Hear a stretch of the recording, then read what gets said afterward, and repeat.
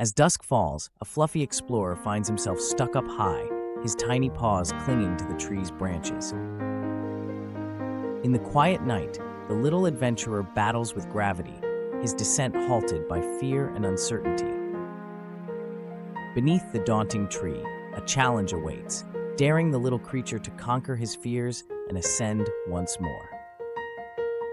A distant call for help drifts down, reaching the ears of a concerned guardian ready to rush to the scene. With trembling courage, a critter begins his descent, each step a testament to bravery and newfound skill. In the moon's soft glow, eyes widen in amazement as the little one defies expectations and continues his descent. The final stretch lies before him, the ground calling out in silent encouragement as he inches closer to safety.